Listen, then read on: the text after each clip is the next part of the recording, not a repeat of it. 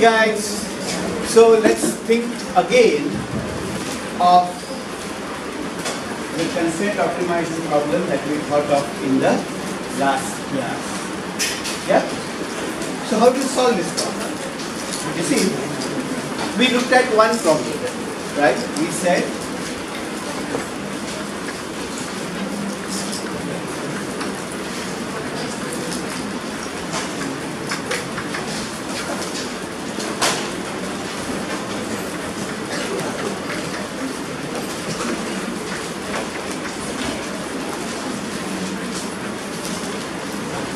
right? We said the problem is to maximize some function, let's call it a utility function of x1, x2 subject to a constraint that is p1 x1 plus p2 x2 is equal to m. The constraint here is an equality constraint. Alright, the constraint here is an equality constraint. And then what did we say? We said that you form a Lagrangian. You form L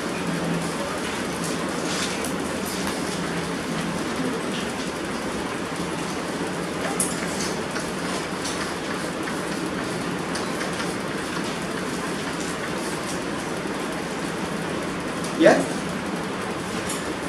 And then we differentiate. So you first do set that equal to 0.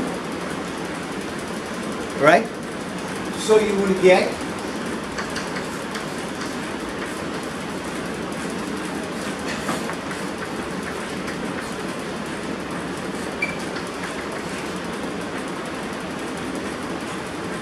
right?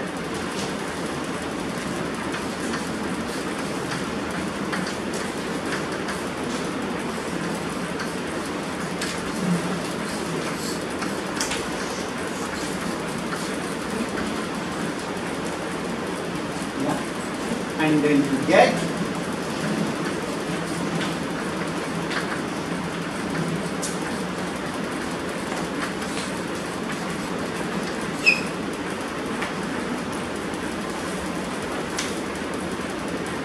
right? So this gives you three equations. And then on the basis of these three equations, you solve for x1 and x2. Is to everybody? Right? Sure? Okay. Now, let me write this more generally as, I can write it like this.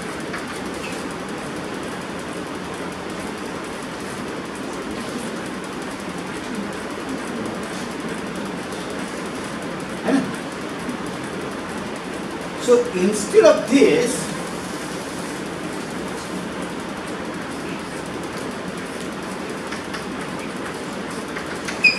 I can write it like this. Because this is a function of x1 and x2. p1 x1 minus p plus p2 x2 minus m is a function of x1 and x2. Right? Let me call it, give it a name. G of x1, x2. Okay? Right? So, what is the problem become? The problem then becomes maximize u of x1, x2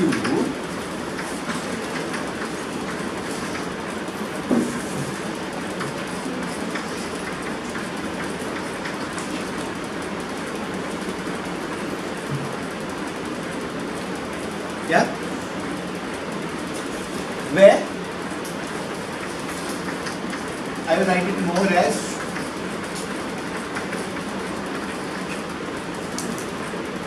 where g of x1, x2 is m minus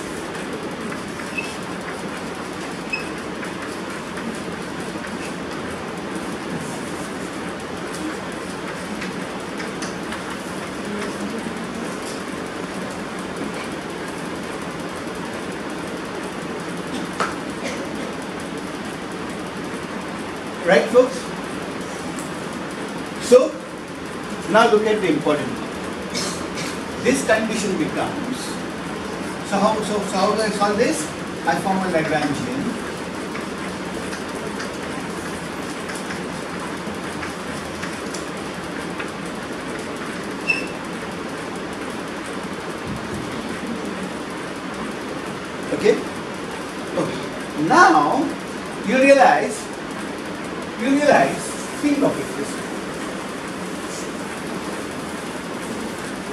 What was lambda?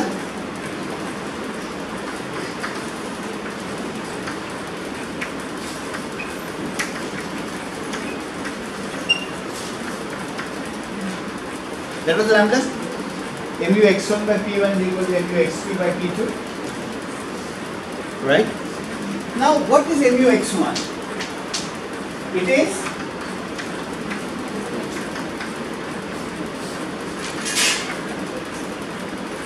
Yeah?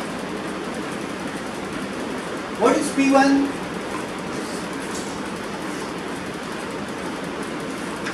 So remember,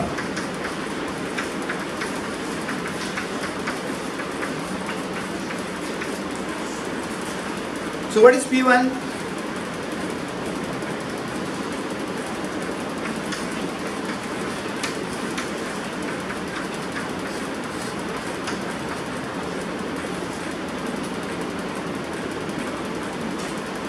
Do you agree with this? Sure? Minus P1 is that by g of x1 x2 derivative of g with respect to x1, right? Minus p. So this quantity then becomes so this so, so this becomes minus of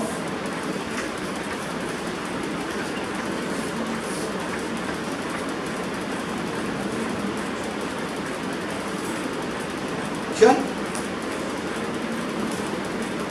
Right? This will be equal to on that side? ಕಳೆದ್ಲ ನಾ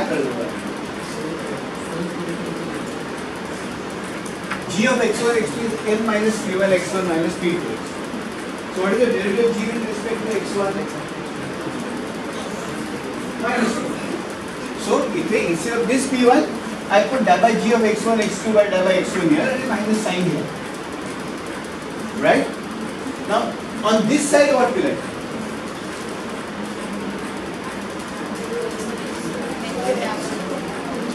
So both sides are going to be negative. There is going to be negative questions. Sign in both sides, so I will neglect the negative from both sides. I can do. So this becomes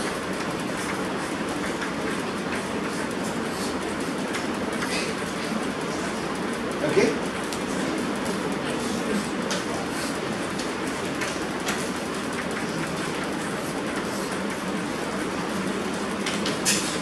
Yeah. Right? Now, for this to make sense, at the maximums, this and this cannot be zero. Both the denominators cannot be zero for this to make sense at the maximum. Right? When you're maximizing, the point at which you're maximizing, the derivative g with respect to x1 cannot be zero, the derivative g with respect to x2 cannot be zero. Because if they are zero, then the fractions will not be defined. So the equilibrium conditions will not be defined. Right?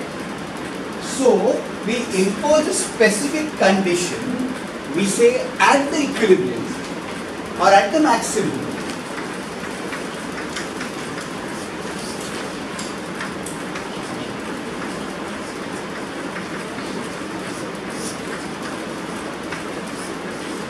Not equal to. Right? So we specifically impose the condition that the two derivatives are not equal to zero. Yeah? This is called a constraint qualification condition.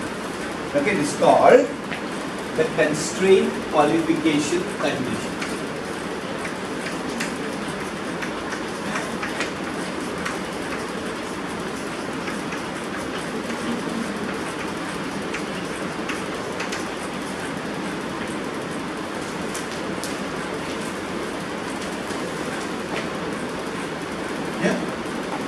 Called the constraint qualification condition.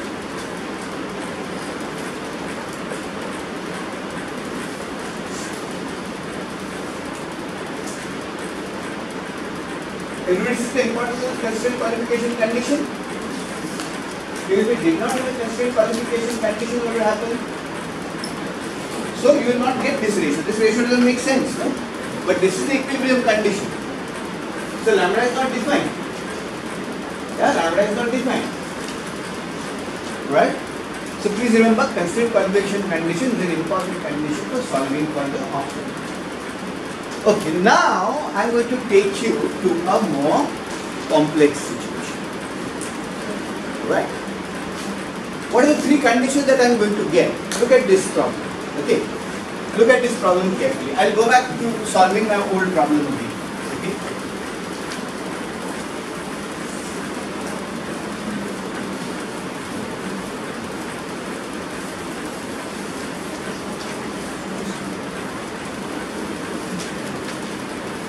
So let's solve one problem for this book.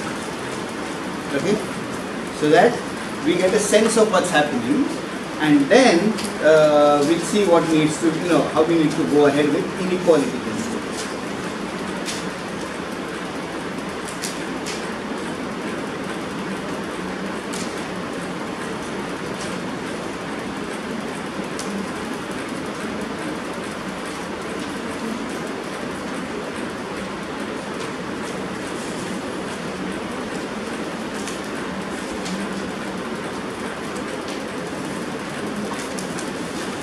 So suppose we have to maximize.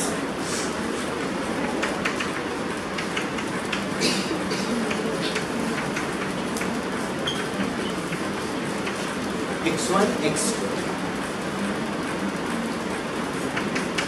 subject to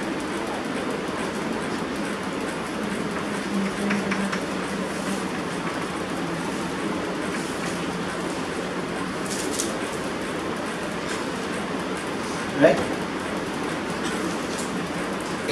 Step? To form a Lagrange.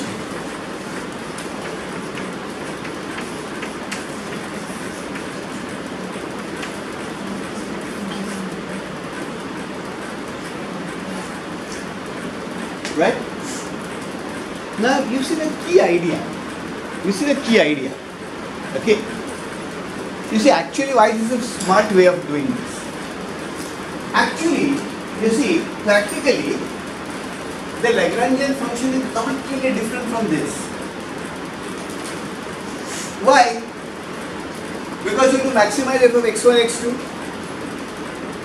f of x1, x2 increases with x1 and x2. So you keep on increasing x1, x2, f of x1, x2 will increase. Right? Now, what is the maximum of x1, x2? So suppose you have, so suppose you have x1 and x2 here. Okay? Right?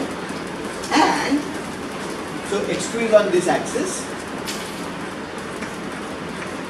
x1 is on this axis, right? So I'll write this, so this is, uh, you know, so I can write this as 4x2 is equal to 16 minus x1 or I can write x2 is 4 minus 1 upon 4 x1. Right, so if, I, if x1 is 0, x2 is 4 and I get a line with the slope 1 by 4. Right, so if x1 is 4, x1 is 0, x2 is 4, right? And when x2 is 0, how much is x1? If x2 is 0, how much is x1? So x1 must be equal to 16 right? Okay, so I put 16 here.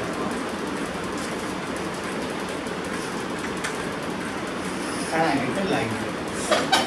This is the slope, this is the equation showing the constraint. These are all x1 and x2 combinations. If you have to maximize f of x1, x2, this function increases with x1, x2, so what is the maximum of x1, x2 that we can have? On the boundary. On the boundary. Right? So the highest combination of x1 and x2, the highest feasible combination of, so what we really have is a budget set, right? And what you want is you're going to maximize the utility, you'll be on the boundary of the budget. So when you're solving this problem, all the solutions will lie on the boundary of the budget set. Which particular one will really depend upon where your indifference curve positions are or whatever your objective function is, right? Sure? Right. Now, so So if you are on the boundary of the budget set, at the boundary of the budget set, what points is what equation is satisfied? This. So 4x2 is equal to 16 minus x1, which means that 16 minus x1 minus 4x2 is always equal to 0 on the budget on on the on the budget frontier. Wherever you put a solution, right? See, where will you find the solution? The solution will be there on this line. On every point of this line, the budget constraint is exactly satisfied.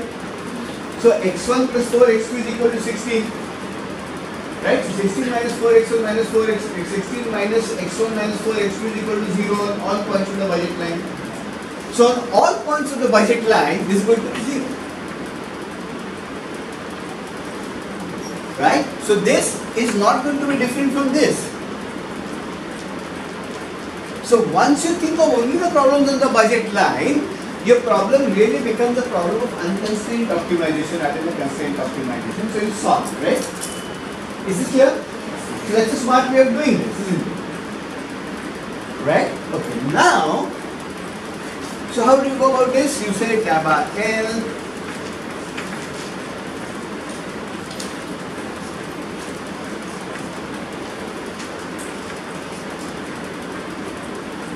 There's a derivative with respect to x1.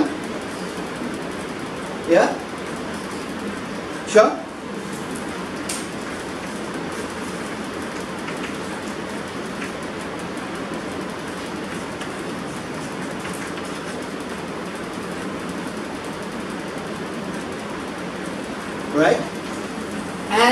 And you get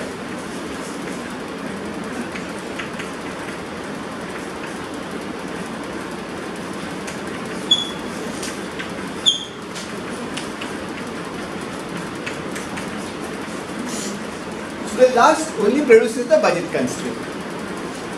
Okay?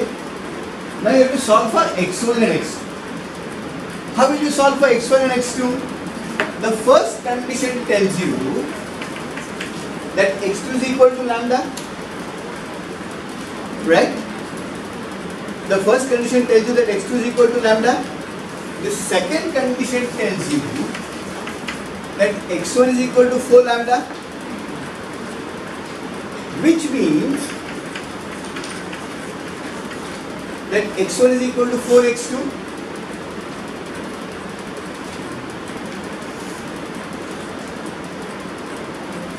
yeah okay so now you can now now this is where this equation comes into now you got 6 is equal to x1 plus 4x you've been able to represent x1 in terms of x. So which means that in this equation you can write 16 is equal to x1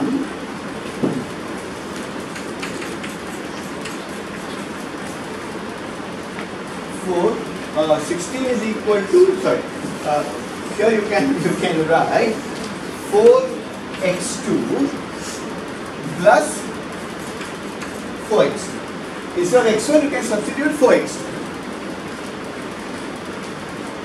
which means that x2 is how much 2.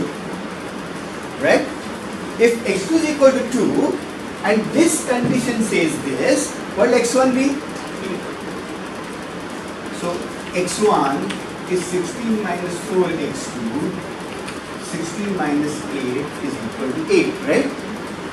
So x1 is equal to 8, x2 is equal to 2 is the solution. How have we done this? we differentiate respect to x1, differentiate respect to x2, differentiate respect to lambda. And the last equation allowed me to solve for x1 and x2. Right, so all these three equations are important. All these three equations are important for being able to solve for this constraint optimization problem. So the maximum of x1 is 2, uh, is 8 and the maximum of x2 is 2. Right, remember the role played by this equation okay, role played by this equation. Okay. Now, yeah. So could you please tell me why uh, that equation is equal to 0? Because all that I have here is x1 is equal to 4x. But it doesn't help me to solve for specific values of x1 and x2. It's only because I have 16 equal to x1 plus 4x2. I can substitute in x1 here for x2, solve in terms of x2, and then get x1 and x2. Right? If I did not have this equation, I would not have been able to solve for x1 and x2. Yeah? So this equation is very important. To ensure that you understood this, I'll give you one more sum.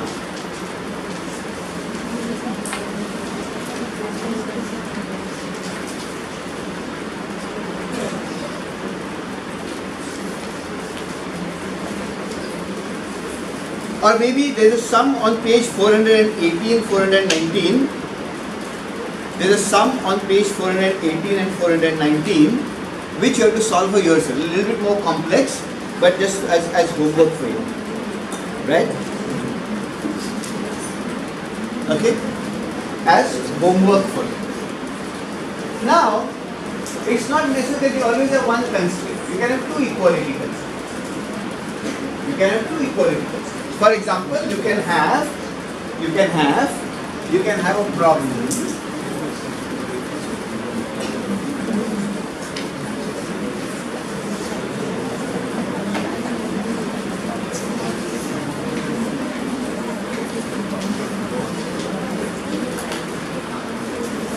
For example, you can have the problem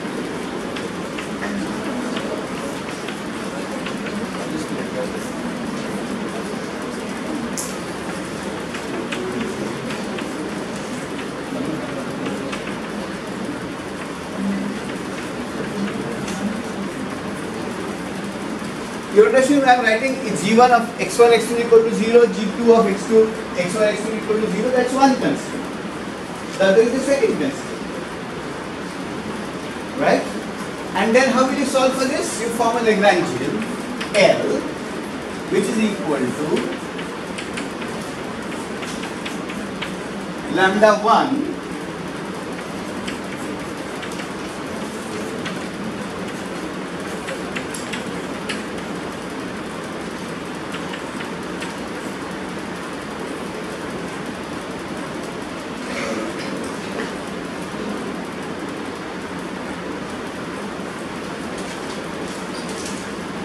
right? So, what do you do then?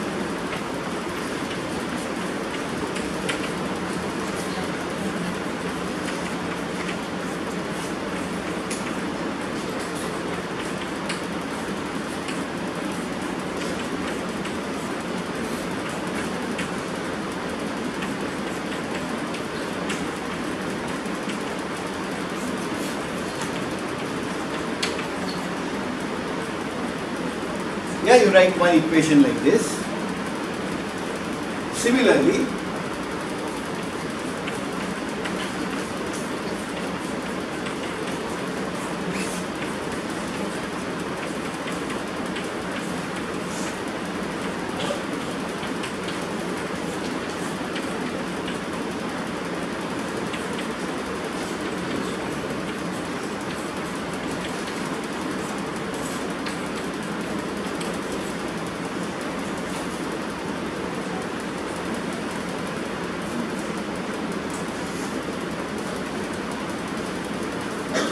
yeah,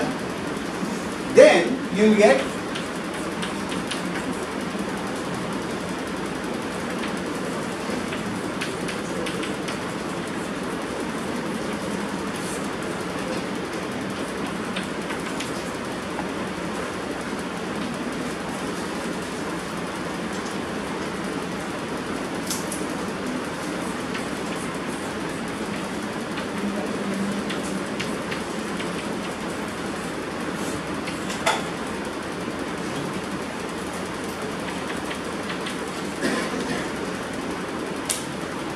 So you got four equations to solve for four unknowns. That by G1. Yeah. G1. Thanks.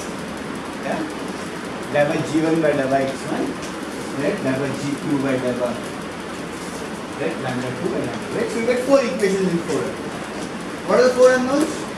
x1, x2, lambda 1, lambda 2. Right? Okay, x1, x2, lambda 1, lambda 2. In the previous problem, what is the value of lambda?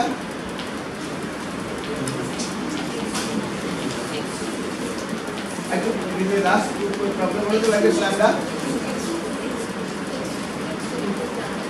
x2 equals lambda. So what is the value of x2? 2. So what is the value of lambda? 2. So how do you interpret lambda? It is the increase in the objective function that you can have if you relax the constraint by 1 unit. So instead of 16 you make the constraint 17, your maximized value of the likelihood function will have gone up by 2. Right? So if you increase income by 1 rupee, your maximum utility that you get will go by lambda. Right? That's, that's what lambda in that sense. So the marginal utility of money in general is the shadow value of the constraint as we talked about in the last class. Shadow value of the constraint. Right? So please remember, again, what does lambda tell you? Because I'm going to be the next part of my story. Right? It will be very important for the later, the, the, the, the, the next part of my story.